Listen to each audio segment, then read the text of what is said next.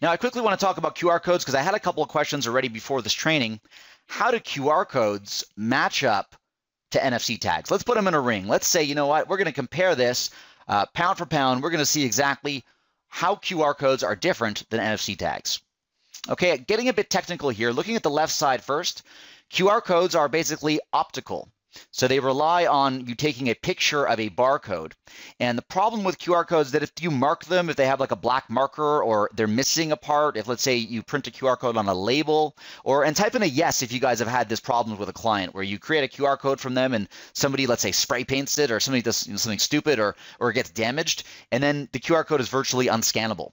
Type in a big yes if you've had this problem before, because it's a big problem with QR codes. Um, NFC tags the way that they're different is it's a totally different approach. They're digital.